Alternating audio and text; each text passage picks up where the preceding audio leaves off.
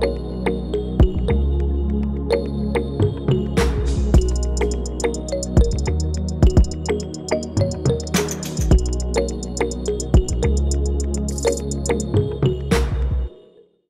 24 TV-ին շարունակում է աշխատանքը։ Տաղավարում այսօր իմ հյուրն է հասարակական քաղաքական գործիչ Կարեն Կարապետյանը։ Բարև ձեզ։ Բարև ձեզ։ Շնորհակալ եմ այսօր կալվել Ես եմ շնորհակալ հրավերքի համար։ Նիկոլ Փաշինյանը խոսեց նոր համանadrության մասին, ասում է համանadrությունը պետք է ռեբրենդինգ անենք, մրցունակ ու գրավիչ դարձնենք, եւ նա նշում է, որ անկախության հռչակագիրը, որը կա համանadrությունում, նման է մի կարմիր կտորի, որը զարգացնում է մեր հարևաններին եւ այստեղ եւս փոփոխություններ պետք է անենք ձեր դիտարկումը այս առումով։ Նախ սկսենք նրանից, երբ որ պետության ղեկավարը ստիպված է լինում իրագործել այլոց օրակարգը, թելադրված օրակարգը, տվյալ պարագայում Ադրբեջանի կողմից հрамցվող, ապա այդ օրակարգի իրագործման ժամանակ բազմաթիվ անհեթեթություններ է ասում, որը ոչ միայն հարիր չի պետության ղեկավարին, այլ հարիր չի առհասարակ տվյալ պետությանը, որովհետև պետությունը այդ մարդու դեմքով է ներկայանում միջազգային տարբեր հարաբերություններում եւ առհասարակ գիտեք ինչ սահմանադրությունը կոնյակ չի որպեսի ռեբրենդինգ անես կամ սարքես ավելի գրավիչ ու ավելի մրցունակ սահմանադրությունը դա մեր պետական արժեքներից մեկն է եւ առ այս պահը չի առաջ չկար նման իրավիճակ, որը անհրաժեշտ, որի պարագայում անհրաժեշտ լինի անպայման սահմանադրությունը փոխել, նույն Նիկոլ Փաշինյանը իր իսկ այս անհեթեթ օրինակով նմանեցնելով կարմիր լաթի կտորի, իր ինքն իր բերանով խոստովանում է, որ դա իր օրակարգը չէ, որքան էլ քպեական որոշ բթամիտ падգամավորներ անդադար շեշտեն, որ դա մեր ներքին օրակարգն է համանadrական փոփոխությունները, այնուամենայնիվ Փաշինյանը իր բերանով խոստովանում է, որ ոչ, դա մեր ներքին օրակարգը չէ, եթե նույնիսկ դա մեր ներքին օրակարգն է, ապա դա պարտադրված է Ադրբեջանի կողմից։ Նա մի քանի անգամ է շեշտել այդ բանը, որ Ալիևը անուղակի եւ ուղակի պահանջ է ներկայացրել սահմանադրական փոփոխություններին եւ որպեսի իր այդ որպեսի այդ պահանջը քողարկի որպեսի այնուամենայնիվ ուղակի ինքը չդառնա Ալիևի կամքի կամակատարը, բերում է տարբեր անհեթեթե օրինակներ, ինչպես օրինակ Կարմիր լաթի կտորը։ է նման է մի հակոստի, որը տատիկն է գործել, օրինակ շատ թանկ է մեզ համար եւ դու պետք է որոշում կայացնես արդյոք այդ հակոստից հրաժարվում ես թե շարունակում ես կրել այդ հակոստը եւ վտանգել ապագան։ Իր տատիկը առասարակ ինչ հակոստներ է իր համար գործել եւ ինքը առասարակ ցուլի դեմ հայտնվել է թե ոչ եւ առասարակ կատաղած ցուլն իր վրա հարձակվել է թե ոչ, եթե նման բաներ իր կյանքում տեղի են ունեցել, ապա ես նրան ցավակցում եմ, դա իր դժբախտությունն է, սակայն Հայաստանի Հանրապետությունը ոչ կարմիր լաթի կտոր է, ոչ էլ ասենք նման է այն կովին կամ այն մատադորին, որի վրա պետք է հարձակվի Ադրբեջանը։ Պետության ղեկավարի անմիջական պարտականությունն է, որ ոչ թե հիմար օրինակներ բերել, այլ պետության անվտանգությունը հասցնել այն աստիճանի, դիվանագիտական հարաբերություններում այնպիսի քաղաքականություն վարել, ձեռք բերել այնպիսի դաշնակիցներ, որոնք կապահովեն Հայաստանի անվտանգությունը, ուժեղացնել բանակը, որը անհրաժեշտության դեպքում արժանի հակահարված կտա Ալիևի տվյալ պարագայում ըստ Նիկոլ Փաշինյանի ցուլի հարձակումների դեպքում։ Եվ դրա համար պետք չի խեղաթյուրել, ապականել, արժեզրկել սեփական ազգային արժեքները այդ սահմանադրության փոփոխությունը եւս մեկ անգամ ուզում եմ շեշտեմ, դա Ալիևի պահանջն է, որը Նիկոլ Փաշինյանը ինքն իր բերանով խոստովանում է։ Ինչպես նաեւ պահանջն է արտաքին տվյալ դեպքում Թուրքիա եւ Ադրբեջանի կողմից եւ Արարատ սարից որպես Հայաստանի համար ազգային արժեք հրաժարումը եւ պատմության դասագրքերի փոխումը հայոց պատմությունը վերածել Հայաստանի պատմությամբ, ինչքան էլ հղում արվի իբր պետականության գիտակցում են ցանկանում դրանով սերմանել հանրության մեջ, այնուամենայնիվ դա անհեթեթ է, որովհետև այդ հակադրումը հայոց պատմություն եւ Հայաստանի պատմություն որևէ աղերս չունի պետական մտածողության հետ։ Բազմաթիվ ժողովուրդներ ունեցել են նախ սկզբից եղել են իրանք, այնուհետև ունեցել են պետություն եւ երբևէ որևէ ժողովրդի պատմության էջերից դուրս չեն մնացել այն ժամանակահատվածները, որոնք այն իրադարձությունները, որոնք տեղի են ունեցել ոչ պետականության պայմաններում։ Մի օրինակ բերեմ, Ալիևը իդեպ նույնպես այդ մասին մի քանի անգամ շեշտել է, որ ուրարտացիները կապ չունեն հայերի հետ։ Հիմա եթե մենք վերածում ենք հայոց պատմությունը Հայաստանի պատմությամբ, այստեղ առաջանում են բացեր եւ հենց այդ մի հարց է։ Օրինակ, Հայաստանի պատմության մեջ լինելու են ուրարտացիները, թե ոչ։ Հայաստանի պատմության մեջ Էրեբունի Երևանը հիմնադրվել է, թե չի հիմնադրվել։ Եվ այդ ամենը Դες բովանդակային փոփոխություն չի իրականացել։ Գիտեք ինչ շատ բաներ նրանք կարող են ասել։ Կյանքը ցույց է տվել, որ ներկայիս իշխանության որևէ ասած ժամանակի ընթացքում իրականությանը չի համապատասխանել ոչ մի ասած սկսած կենցաղային հարցերից վերջացրած տնտեսական եւ քաղաքական հարցերում չկա մի բան որ այս իշխանությունը իրենց իշխանության գալու առաջին իսկ օրից եւ նույնիսկ մինչեւ այդ խոստացած լինի այնուհետեւ ճշտությամբ կատարած լինի իր նախընտրական այնուհետև իշխանության գալուց հետո իրենց ներկայացրած ծրագրերը նրա նման բան գոյություն չունի այս իշխանությունները ունեն մի շատ նենք քաղաքականություն որթեգրած որ իրենց ցանկացած ձախողում, իրենց ցանկացած անհաջողություն եւ միտումնավոր իրենց որևէ խոստումի չկատարումը մանիպուլացնում են եւ հիմա արդեն մի քիչ նախկինների դարաշրջանը անցել է, որովհետեւ հասկացան, որ արդեն ծիծաղ են առաջացնում ամեն ինչ նախկինների վրա գցելով, հիմա մանիպուլացնում են եւ ամեն ինչ փորձում են գցել հանրության գրպանը, հանրությանը ուղիղ պատասխանատու են փորձում սարքել իրենց ձախողումների եւ իրենց անհաջողությունների համար։ Այդ ամենի համատեքստում է նաեւ տեղավորվում հիմնի փոփոխման պահանջը եւ զինանշանի փոփոխման պահանջը, որովհետեւ Նիկոլ Փաշինյանի պատկերացմամբ Հայաստանի ներկայիս զինանիշը դա Հայաստանի մահվան վկայականն է, ինքն է այդպես ենթադրում, ինքն է այդպես մանիպուլացնում ու ներկայացնում հանրությանը։ Սակայն այդ իր ենթադրությունը չի ծնվել իր ուղեղում։ Այդ իր ենթադրությունը հрамցվել է կրկին Թուրքիա եւ Ադրբեջանի կողմից որպես ուղակի պահանջ, որովհետեւ Ալիևն էլ Այս վերջերս, եթե հիշում եք ասած, որ եթե Հայաստանի Հանրապետությունը ուզում է խաղաղություն կնքել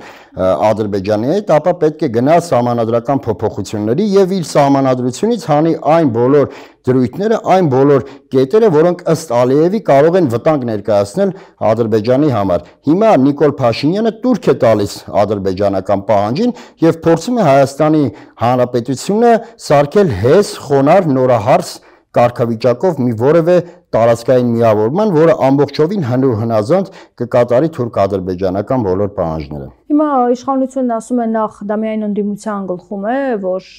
Ադրբեջանից այդ պահանջը եկել, իրականում նման բան չկա, անհրաժեշտություն է առաջացել այսպես նոր համանadrության եւ բացի այդ ասում է թե ժողովուրդը որոշի, եթե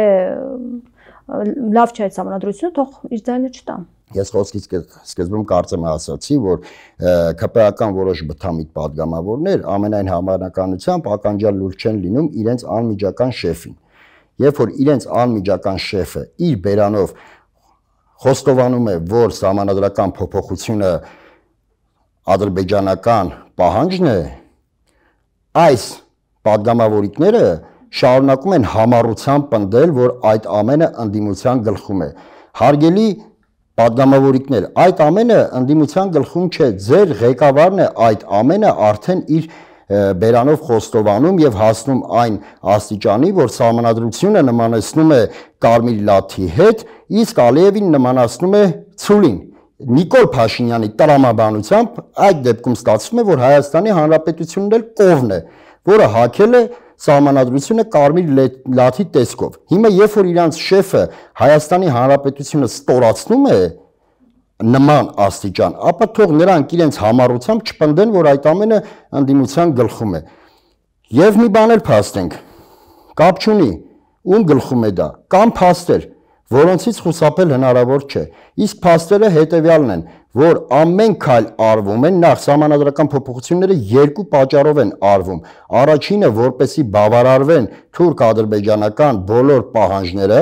որպեսի Հայաստանի Հանրապետության համանadrությունից հանվեն բոլոր այն կետերը, որոնք հղում են անում անկախության հրճակագրին, համաձայն որի Հայաստանը պետք է հետամուտ լինի ցեղասպանության ճանաչմանը, համաձայն որի Հայաստանի Հանրապետությունը պետք է սատար լինի Արցախի ինքնորոշման իրավունքին Եվ երկրորդը սահմանադրության մեջ կամրագրեն այնպիսի կետեր, որ վաղը մյուսօր ընտրությունների ժամանակ կհեշտացնի իրենց վերարտադրումը, որովհետև ակնհայտ է, որ այլևս իշխող խմբակցությունը, իշխող կուսակցությունը չի վայելում ժողովրդի բացարձակ մեծամասնության վստահությունը։ Հետևաբար նրանք իրենց վերարտադրումը պետք է արդեն փորձեն տարբեր եղանակներով հեշտացնել։ որոնցից մեկը կլինի սահմանադրությունը։ Եվս սահմանադրության փոփոխման պարագայում եւս մի շատ կարևոր կետ կա, դա հայոց եկեղեցու բացառիկ դերն է հայ ժողովրդի կյանքում, որը ունի այս դեպքում երկու հասցեատեր։ Մեկը կարող է լինել նորից թուրք-ադրբեջանական տանդեմի պահանջը, որովհետև մեր հայոց պատմության մեջ բազմաթիվ են դրվագներ, երբ որ եկեղեցին ստանձնել է ժողովրդի հայության առաջնորդությունը, եկեղեցին ստանձնել է պայքարի առաջնորդությունը սկսած ավարայրի ճակատամարտից վերջացրած երբ որ կաթողիկոսը հրաժարվեց էջմիածնից դուրս գալուց դուրս գալուց հայտարարելով որ ես ավելի լավ եմ մեռնեմ էջմիածնում քան լքեմ էջմիածինի արդյունքում հայությունը համախմբվեց եւ ներողություն հայությունը համախմբվեց եւ հաղթանակ տարեց թուրք տարավ թուրքերի նկատմամբ ճակատամարտում հիմա դա նույնպես կարող է այդ քամիները գան Թուրքիայից եւ Ադրբեջանից բացի դրանից դա Նիկոլ Փաշինյանի նենք վրեժն է եկեղեցուց որովհետև Հայաստանի պատմության մեջ եք վերջին քննադատությունները, որ եկեղեցու կողմից ինչեցին։ Ոչ միայն վերջին, պատերազմի ավարտից առ այս պահը հրաժարականն էին պահանջում։ Եկեղեցին միակամ է իր դիրքորոշման մեջ, եկեղեցին չի հանդուրժում այն ազգակործան քաղաքականությունը, որը վարվում է այսօր։ Եվ գիտեք մի շատ կարևոր հանգամանք կա, ստեղծվել է մի բացառիկ իրավիճակ, երբ գրեթե ողջ հոգևոր դասը, երբ գրեթե ողջ գիտական շրջանակները լուրջ գիտնականներին նկատի ունեմ, երբ գրեթե ողջ մշակութային արվեստի լուրջ շրջանակները դեմ են ներկայիս իշխանությանը։ Ներկայիս իշխանության ավելի շուտ Նիկոլ Փաշինյանի միակ հույսը մնացել է լումպեն մասան, որովհետև ակնհայտ է, որ հասարակության մեծամասնությունը նույնպես հիասթափված է ներկայիս իշխանություններից ապացույցը Երևանի վերջին ընտրություններն են, երբ որ ԿՊ-ն չստացավ անհրաժեշտ քվեները Այլ խոսքով Տիգրան Ավինյանը չընտրվեց Երևանի քաղաքապետ ժողովրդի անմիջական ընտրության միջոցով։ Եվ Նիկոլ Փաշինյանի հույսը միակ մնացել է լյումպեն մասան, որի համար մեկ են ազգային արժեքները, որի համար գոյություն ունի Արցախ, որի համար գոյություն ունի ընդհանրապես քաղաքականություն Հայաստանի ապագա եւ այլն եւ այլն, որի համար կա միայն իր ներկան եւ իր ստամոքսը։ Ահա այդ լյումպեն մասայի վրա է հույսը եւ Նիկոլ Փաշինյանի ներկայիս բոլոր ուղերձները ուղված են միայն լյումպեն մասային։ Հիմա այս ամենին հակազդելու ինչ հնարավորություններ ունի ընդդիմությունը, ընդդիմությունը նշում է, որ համանդրական հանրակրվեն պետք է վերածվի անվստահության հանրակրվեի ինչ հնարավորություններ կան այս առումով։ Հերթական առիթն է հանդիսացել Նիկոլ Փաշինյանի հրաժարականի պայքարը նորից վերականգնելու համար եւ սահմանադրության հանրակրվեն Նիկոլ Փաշինյանի անվստահության հանրակրվեի վերածելու։ Սակայն ընդդիմությունը պետք է դրա համար ոչ թե միայն խոսքերով դա արտահայտի, այլ պետք է աշխատի։ Հասկանում եք, ներկայիս խորհրդարանական ընդդիմությունը ժողովրդի կողմից մանդատ է ստացել միայն մի օրակարգ օրակարգի համար այն է այս իշխանությունների հերացումը լավ ենթադրենք իշխանությունների հերացումը մի անգամից չի ստացվում մի օրվա գործ չէ մեկ ամսվա գործ չէ այդ ամենը հասկանալի է սակայն խորհրդարանական ընդդիմությունը պետք է ազգային ժողովի ամբիոնը օգտագործի միմիայն մեկ նպատակով՝ անդադար շեշտի այս իշխանությունների ազգակործան քաղաքականությունը ոչ թե խորոնա, խորանակուսության թեմաներով ես վերջերս նայում էի որոշ ընդդիմադիր падգամավորներ քննարկում էին կուսության օրենքը պետք է ընդունվի թե պետք չի ընդունվի հասկանում եք դրանք դատարկ օրակարգեր են դատարկ օրակարգեր մանավանդ որ ընդդիմության կարծիքը որևէ մեկը հաշվի չի առնելու Եթե ազգային ժողովը շատ ուժենա մեծամասնությունը հայտարարի, որ վաղվանից բոլորը պետքա լինեն կույս, նրանք այդ օրենքը կանցկացնեն անկախ ընդդիմության ողջևորությունից եւ դիրքորոշումից։ Ընդդիմությունը նման անհեթեթ ու հիմար քննարկումների մեջ մեզ չպետք է մտնի։ Գիտեք ինչ, նայեք, կան падգամավորներ, իհարկե ոչ քիչ թվով, իդեպ։ Այդ չմասնակցեն նիստերին, օրինակ այս ընդդիմությունը մանդատ չի ստացել կուսության հարց քննարկելու։ Այս ընդդիմությունը ժողովրդից մանդատ չի ստացել տարբեր տեսակի ոլորտային ինչ որ հարցեր քննարկելու եւ այս ընդդիմությունը ստացել է ներողություն, այս ընդդիմությունը ստացել է 1 մանդատ այն է Հայաստան այս ներկայիս իշխանությունների հերացման։ Հիմա ուզում եմ նորից կրկնեմ, չեմ ասում բացակայեն, սակայն ամբիոնը պետք է անդադար օգտագործեն շեշտելու համար այս իշխանությունների ողջ կորցանարար գործ, գործունեություն է։ Հասկանում եք, երբ որ X թվով падգամավորներ խոսում են միայն այդ թեմայից, խոսում են միայն Հայաստանի անվտանգության համակարգից, խոսում են միայն Արցախի կորցանումից, խոսում են Հայաստանի Հանրապետության հնարա, հնարավոր կորցանումից եւ այդ ֆոնին մի քանի падգամավորներ ընդդիմադիր մտնում են կուսության թեմաներով քննարկումների մեջ, ապա զրոյացնում են այն падգամավորների աշխատանքը, այն падգամավորների խոսքն ու ասելիքը, որոնց ամբողջ նպատակը եւ որոնց ամբողջ օրակարգը Հայաստանի անվտանգության խնդիրներն են։ Մի այլ հարց էլ ընդդիմությունը չպետք է բավարարվի միայն հանրա միայն ներողություն հարցազրույցներով, միայն ճեպազրույցներով եւ միայն ազգային ժողովի ամբիոնը օգտագործելով նման ձևով հաջողության հասնելու գրավականը փոքրանում է ընդդիմությունը պետք է անդադար փողոցներում լինի ընդդիմությունը պետք է տուն առ տուն մտնի Բայց արդյոք ընդդիմությունը միաբանվում է օրինակ մենք տեսնում ենք առանձին առանձին հայտարարություններ են անում եւ մեկը մյուսին հրավիրում է միաբանվելու բայց կարծես թե դեռևս չկա այդ միաբանման գործընթացը Միաբանումը կլինի այն ժամանակ երբ որ օրակարգը լինի օրակարգը հստակ ձևավորվի հստակ ուր է գնում ընդդիմությունը ինչ քայլեր է ձեռնարկում, ինչ նպատակ է հետապնդում։ Այդ օրակարգի ձևավորումից հետո ես ուզում եմ նորից շեշտել, ընդդիմությունը պետք է փողոցներից տուն չգա։ Հայաստանի Հանրապետությունում ինչքան տուն կա, հատ առ հատ բոլորի դռները պետք է ծեծի։ Եթե երբ որ մի տնից իրան դռնից ներս չեն թողնում, նա պետք է լուսամուտից ներս մտնի։ Հասկանում եք, միայն այդ դեպքում հնարավոր է հասնել հաջողության եւ ոչ բավարարվել միայն ասուլիսներով։ Եվ պետք է նույն խոսքը անդադար կրկնել, հազար անգամ պետք է կրկնել։ Երբեք չպետք է վախենալ, որ ես մի 5 անգամ ասել եմ ու չպետք է վախենալ, որ եթե ես 6-րդ անգամ նույն բանը ասեմ, ապա իմ խոսքը կարժե զրկվի կամ ձանձրալի կդառնա կամ ինձ այլևս չեն նայի։ Ի վերջո ընդդիմադիր գործիչները ներողություն դերասան չեն Նրանց չպետք է մտահոգի իրենց հարցազրույցների դիտումները։ Նրանց պետք է մտահոգի իրենց խոսքի, խոսքի տեղ հասցնելիքը եւ այդ տեղ հասնելը նրանք պետք է իրագործեն տարբեր ձևերով եւ այնքան պետք է նույն միտքը շեշտեն, այնքան պետք է շեշտեն, ինչեւ հասարակությունը ամբողջովին անկալի այդ գաղափարները, մինչև հասարակությունը լիովին սկսի վստահել ընդդիմությանը եւ հավատա ընդդիմության խոսքին։ Եվ պետք չի, ասենք, ականջալուր լինել իշխանությունների կողմից այդ ընդդիմությանը բոբոս արկելու կամ ընդդիմությանը նմանեցնելու սրան կամ նրան մի ինչ որ մանկամիտ պատգամավոր ընդդիմությանը նմանեցնում է Ալիևին մի մեկ այլ մանկամիտ падգամա որ ընդդիմությունը գցում է ռուսների գրպանը ոչ ընդդիմությունը պետք է վեր կանգնի այդ ամենից եւ ապացուցի հանրությանը որ իր թիվ 1 նպատակը Հայաստանի Հանրապետության անվտանգությունն է, ժողովրդի անվտանգությունն է, ապագան է, բայց ոչ թե այնպես ապագա կա ապագա, ինչպես իմ քայլն էր բղավում փողոցներում եւ տեսանք այդ ապագան, այլ տուն առ տուն մտնելով, դուռ առ դուր թակելով նա պետք է այդ ամենը հա, հանրությանը ապացուցի եւ միայն նույն առաջնորդներով հնարավորություն նման նման գործելավոճի արդյունքում հնարավոր կլինի հանրակվեն վերածել Նիկոլի անվստահության հանրակրվեի, որովհետև նայեք շատ վտանգավոր բան կարող է նորից տեղի ունենալ։ Այն ընտրած զանգվածը, որը այլևս չի վստահում Նիկոլ Փաշինյանին, ինչպես շեշտում եմ Երևանի ընտրությունների ժամանակ նրանք պարզապես չգնան ընտրությունների եւ եւ Նիկոլը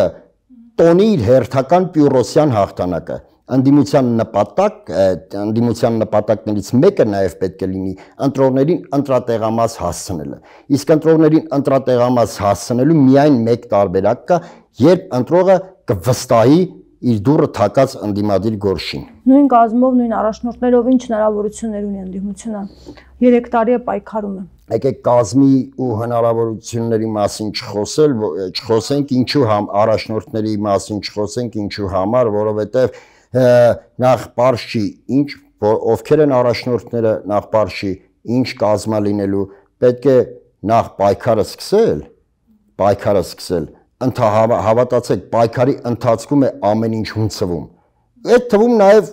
ազգային ժողովում բազմաթիվ падգամավորներ կան, որոնք իրենց քայլերով, իրենց խոսքով ապացուցում են իրենց իրական մտահոգությունները, այլ ոչ թե պարզապես մանդատը վերցրել են եւ օգտվում են ընդդիմադիր ներկայանալով, օգտվում են բոլոր այն բարիկներից, որոնք օգտվում են իշխանության ներկայացուցիչները։ Բազմաթիվ են ընդդիմադիր падգամավորները, որոնք իրենց գործով, իրենց խոսքով ապացուցել են իրենց իրոք անշահախնդիր մտահոգությունները։ Թող պայքարը ծավալվի։ Գիտեք ինչ, մեր հասարակության խնդիրը նա է, բոլորից երևի, որ երբ որ պայքարը չսկսված, մենք արդեն սկսում ենք առաջնորդներին փնտրել։ Պայքարը չսկսած, սկսում ենք ինչ որ կազմ փնտրել, գործիքա կազմ փնտրել նպատակները հերահար արդեն այ ով կգա իշխանության, ով ինչ պաշտոն կզբաղեցնի, ով կառավարության անդամ կլինի, ով կգնա ազգային ժողով։ Սա դասական քաղաքական պայքար չէ, որպեսի ընդդիմությունը ներկայանա իր կառավարությամբ, ընդդիմությունը ներկայանա իր ազգային ժողովի պատկերացրած անդամներով եւ սովորական քաղաքական պայքար մղի, ինչի արդյունքում ով հաղթի, նա էլ իր ներկայացված կազմով կձևավորվի կձևավորի կառավարությունը, կձևավորի ազգային ժողովը։ Ոչ, սա սովորական դասական քաղաքական պայքար չէ։ Սա կարելի է ձևակերպել հետեւյալ կերպ, որ սա ազգային ազատագրական, իրոք ազգային ազատագրական պայքար է։ Մենք կանգնած ենք ջրբաժանի առաջ կամ թոթափում ենք մեր վրայից այն դրվելիք լուծը, որը փորձում են դնել խոնար խոնարված ապրել եւ սпасարկել թուրք-ադրբեջանական օրակարգը անունը դնելով խաղաղության պայմանագիր, սակայն այդ խաղաղության պայմանագրի կնքվելու դեպքում էլ միևնույն է խաղաղությունը չի լինելու կամ նորից շտկելու մեր մեջքը եւ նորից դուրս գալու պայքարի բնականաբար ամեն ինչ ողջախոհության սահմաններում նկատի ունեմ։ Ես կարծեմ մի անգամ ձեր հա- տաղավարում հենց ձեզ տված հարցազրույցում շեշտել եմ, որ իհարկե պրագմատիզմը թելադրում է, որպեսի յուրաքանչյուր գործիչ, յուրաքանչյուր քաղաքական միավոր ոդկը մեկնի իր վերմակի չափ։ Սակայն դա չի նշանակում, որ անդադար պետք է վերմակը կարճացնես, որպեսի է ներողություն, որ ոդը կարճացնես, որպեսի այն տեղավորվի վերմակի տակ։ Ոչ, ոդկդ ու վերմակդ ճիշտ քաղաքականության դեպքում կարելի է երկարացնել համաչափ։ Այսինքն Փաշինյանի հառացման գործընթացը իրատեսական եք տեսնում միանգամայն իրատեսական եմ տեսնում։ Չկա քաղաքականության մեջ որևէ գործընթաց,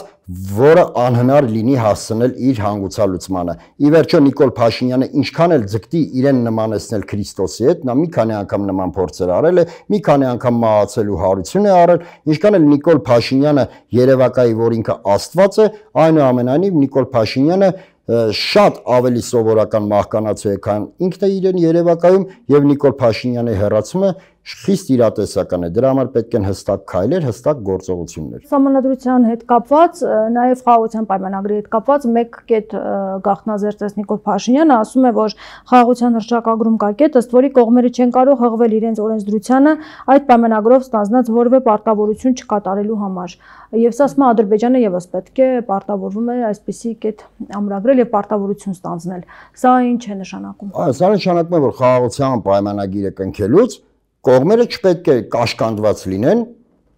իրենց ներքին օրենսդրությամբ։ Սակայն դա ամենևին չի նշանակում, նայեք, առաջին հայացքից կարող է ստացվել տպավորություն, դե եթե ներքին օրենսդրությունը համապատասխանեցվի ու կաշկանդվածություն չառաջացնի, ապա գուցե սահմանադրության փոփոխության կարիք այլևս չլինի, որովհետև եթե դու կաշկանդված չես ներքին օրենքներով, իսկ սահմանադրությունը տվյալ պետության բոլոր օրենքների հանրագումարն է, Ճիշտ է։ Այո։ Հետևաբար ըստ Փաշինյանի ստացվում է, որ կարող ես եւ չկաշկանդվել քո սահմանադրությամբ։ Այդ դեպքում այո, հարց է առաջանում, ինչու՞մն է կանում այն փութաջանությունը, ինչու՞մն է կանում այն խիստ շահագրգռվածությունը, գիտեք, անհեթեթությունը, երբ որ ասում են, որ աշխարհը փոխվում է եւ պետք է փոխվի նաև Հայաստանի սահմանադրությունը։ Նախ աշխարհը չի փոխվում միայն Հայաստանի համար, աշխարհը փոխվում է բոլորի համար։ Սակայն պետությունները ու ընդ որում աշխարհը փոխվում է մշտապես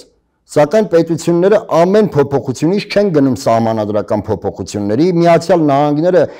գրեթե սահմանադրություն չի փոխել եւ ինչը ստացվում է Միացյալ Նահանգների համար ընդհանրապես այս աշխարհը չի փոխվել։ Բոլորի համար փոխվել են Միացյալ Նահանգների համար աշխարհը մնացել է նույնն է։ Ֆրանսիայում չեն իրենք եւ գրավիչ եւ մրցունակ չեն հաստատի։ Միացյալ Նահանգները գրավիչ եւ մրցունակ չեն եւ այս վերջերս այս վերջերս ասելով 3 ԿՊԱ-ական մի падգամավոր նորից բերեց անհեթեթմիկ դե միացյալ նահանգները միացյալ նահանգներ են։ Հասկանալի է, միացյալ նահանգները միացյալ նահանգներ են, Հայաստանն էլ Հայաստանն է, սակայն Հայաստանի առաջ չկա որևէ անհրաժեշտություն։ Հայաստանի համանadrության մեջ չկան այնպիսի կետեր, որոնք դրթում են աշխարհին փոխվելու զուգահեռ, փոխել նաև Հայաստանի համանadrությունը։ Ֆրանսիան իր սահմանադրությունը փոխեց 4 անգամ, եթե չեմ սխալվում, թե 5, կարող է թիվը սխալվեմ, սակայն արդեն անցել է հսկայական ժամանակահատված եւ Ֆրանսիան որևէ սահմանադրական փոփոխության չի գնացել։ Ինչու համար են Ֆրանսիայի օրինակը բերում, որովհետև այնուամենայնիվ Ֆրանսիան աշխարհին տվել է եւ կիսանախագահական կառավարման մոդել եւ նախագահական եւ պարլամենտական եւ մեր նախորդ սահմանադրությունն էլ կիսանախագահական փոխարված էր ֆրանսիական օրինակից։ Հիմա այս գործընթացով նաև 4-րդ հանրապետության հիմքն են ուզում դնել։ Նիկոլ Փաշինյանի, այո, երազանքը իր փառահեղության, ասես հագեցվածությունը նա տեսնում է իրեն հրճակել 4-րդ հանրապետության հայր հիմնադիր հայր, ընդ որում մենակ, ինքը միայնակ, նա չի հանդուրժելու նույնիսկ ներքին մրցակից։ Ներքին մրցակիցներին նա ոչնչացնելու է պարզապես քաղաքական դաշտից։ Եթե որևէ մեկը հանդգնի, հավասարը հավասարի կանգնել իր կողքին։ Այդ մարդը ունի հիվանդագին փառասիրություն իրեն հրտեսնել 4-րդ հանրապետության հիմնադիր հայր, սակայն նրա ջանքերը զուր են, որովհետև նա Մելիք Ֆրանգյուլից այն կողմ չի գնալու։ Այնուամենայնիվ հայոց պատմությունը իր դատաստանը տալու է եւ պատմությունը ամրագրելու է մեկ բան մեկ բան Նիկոլ Փաշինյանն էր, որը հանձնեց Արցախը, Նիկոլ Փաշինյանն էր, որը Մարտունակ բանակը վերացեց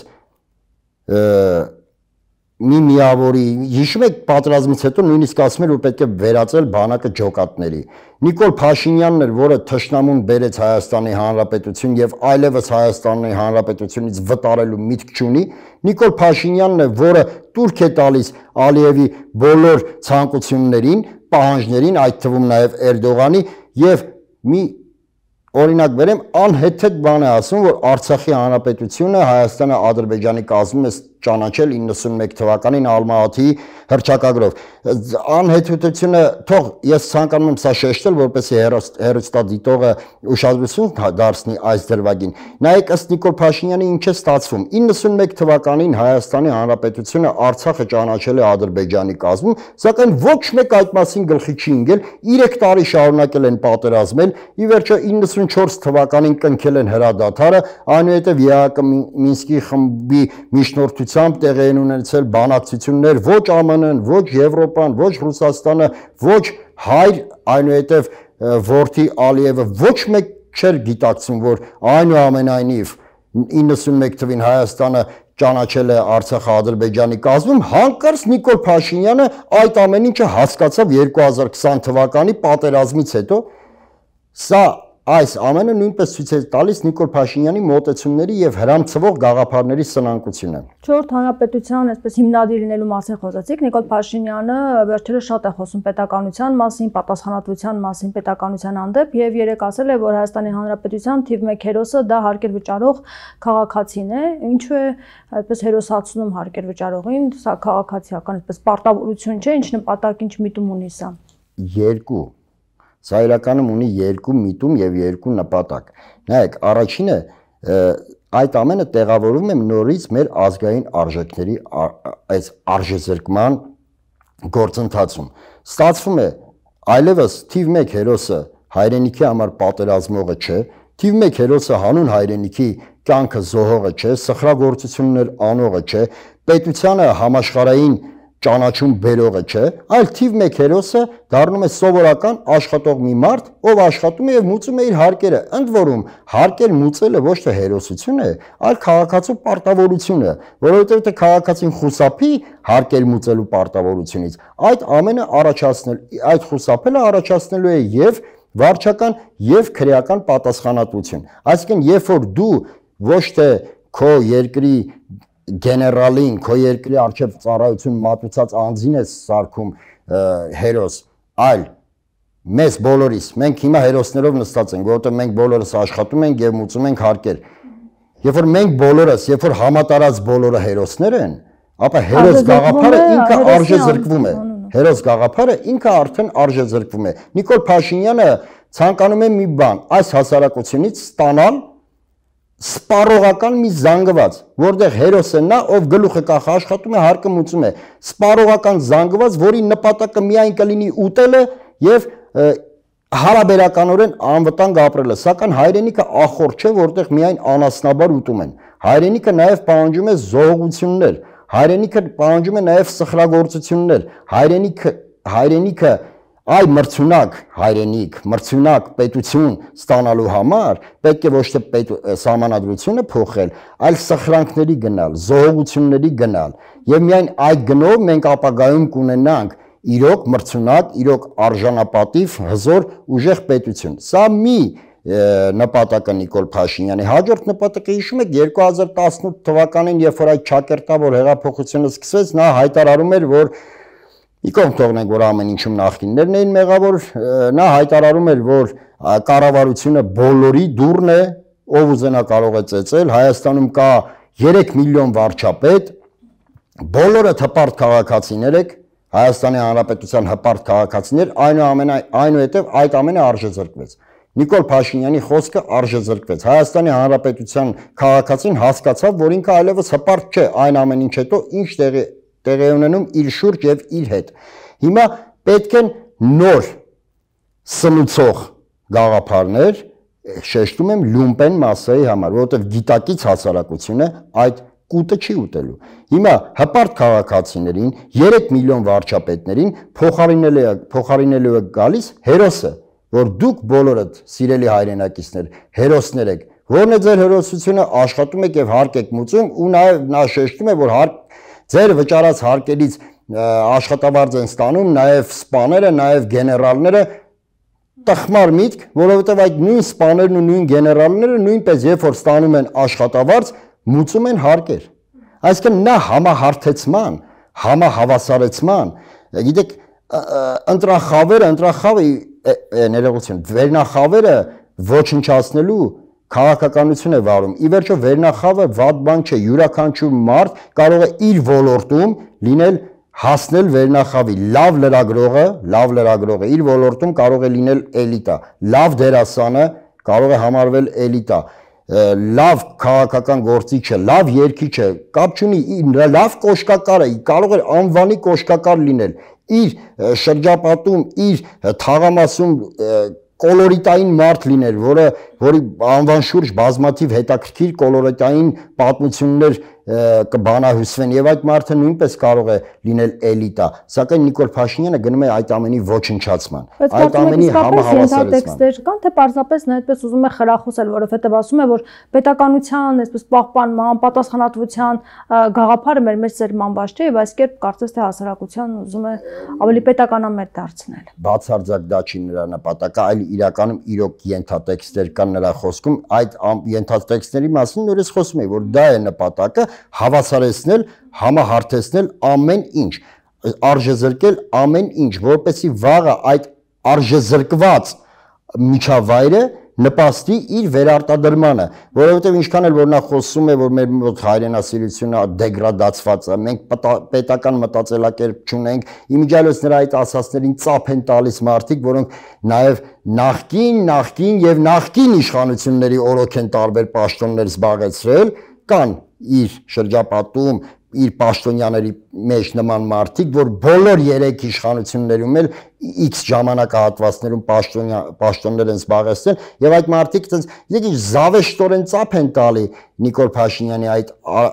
արածների ասացների հանդեպ դրանով իսկ նսեմացնելով ոտնահարելով արժեզրկելով իրենց իրենց իսկ անցած ճանապարհը, իրենց իսկ կենսագրությունը, որովհետև եթե դու համաձայն ես Նիկոլ Փաշինյանի հետ, նշանակում է դու ինքդ նախկինում, երբ որ տարբեր իշխանությունների ժամանակ քո տեղը գտնում էիր, դու ինքդ ճունեիր պետական մտածելակերպ, ինքդ քո մոտ հայրենասիրությունը դեգրադացված էր։ Սակայն փաստենք մի բան, որ Նիկոլ Փաշինյանի պատկերացրած դեգրադացված հայրենասիրության եւ չպետական մտածելակերպի պայմաններում մենք ունեինք պետություն, Մենք ունենք Արցախ հանրապետություն։ Այո, երկու հանրապետություն ունենք, Արցախի հանրապետությունը, Հայաստանի հանրապետությունը, Թշնամին չէր ներթափանցել Հայաստանի հանրապետության սահմաններ, չէր վերցրել Սև լիճը, չէր վերցրել Ջերմուկի տարածքները, չէր հոխորտում Հայաստանի վրա Ալիևի կողմից եւ հայր եւ ворթի Ալիևների կողմից չի եղել Հայաստանի Հանրապետության եւ ոչ մի ղեկավար, որը ծաղրիկ է ենթարկվել եւ որի հասցեին նրանք խոսեին արհամարանքով։ Նիկոլ Փաշինյանը այն բացառիկ նախկինում մենք էինք հաղթող, իսկ հիմա իրենք։ Այն բացառիկ ղեկավարն է, որ Ալիևը իրեն թույլ է տալիս նրա հասցեին խոսել արհամարանքով եւ նրան ամբողջ աշխարհի ներկայությամբ ծաղրել նրա հասցեին խոսել ծաղրանքով ըստեղ հաղթել ու պարտվել է հավատացեք այդքան էլ գործոն չէ այդ Ալիևը այդ վերաբերմունքի մեջ աշխարհում բազմաթիվ պատերազմներ են տեղի ունենում իհարկե ցանկացած պատերազմի ժամանակ մի կողմը հաղթում է, մյուս կողմը պարտվում, սակայն բացառիկ են լինում դեպքերը, երբ որ հաղթող կողմը նման արհամարանքով խոսի պարտվող կողմի հա,